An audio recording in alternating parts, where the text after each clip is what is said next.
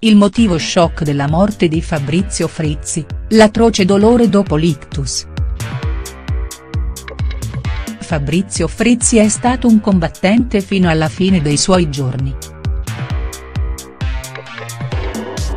Solo in queste ore, infatti, dopo la sconvolgente notizia della sua morte abbiamo scoperto che da tempo il conduttore stava combattendo contro una bruttissima malattia che se lo stava portando via giorno dopo giorno.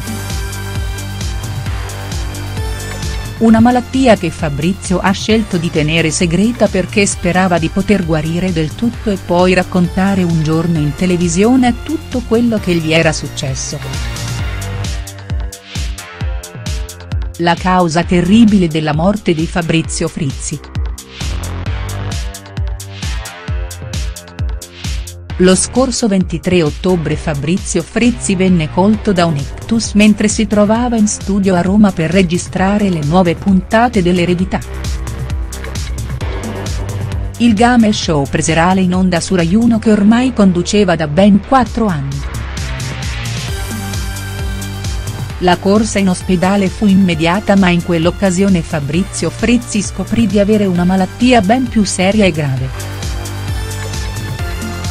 Quell'itus, infatti, era stato il campanello d'allarme di un'altra grave malattia, stando a quanto riportato in queste ore sulle pagine del sito web d'Agostia.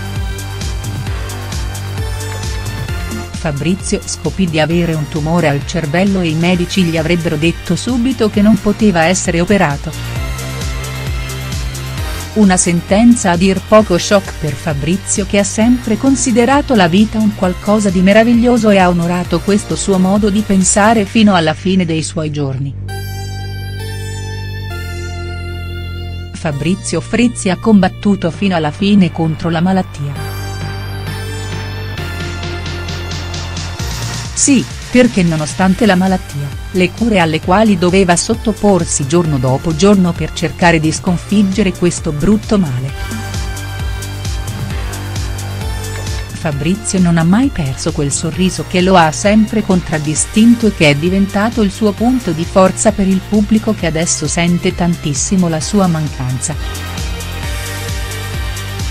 Fabrizio voleva vincere la sua sfida più difficile e voleva farlo in primis per la sua amata figlioletta Stella, una bambina di soli 5 anni che ha avuto dal suo secondo matrimonio con Carlotta Mantovan.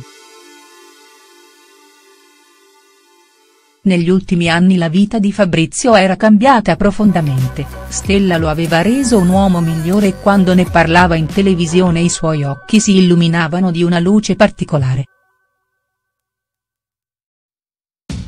Un padre innamorato che ha combattuto fino alla fine per cercare di sconfiggere quel brutto male che purtroppo non gli ha dato scampo. Oggi a mezzogiorno si terranno i funerali di Fabrizio Frizzi presso la Chiesa degli Artisti a Roma. Già in queste ore sono tantissime le persone comuni che sono presenti in Piazza del Popolo per onorare ancora una volta un grande uomo oltre che un grande professionista del piccolo schermo.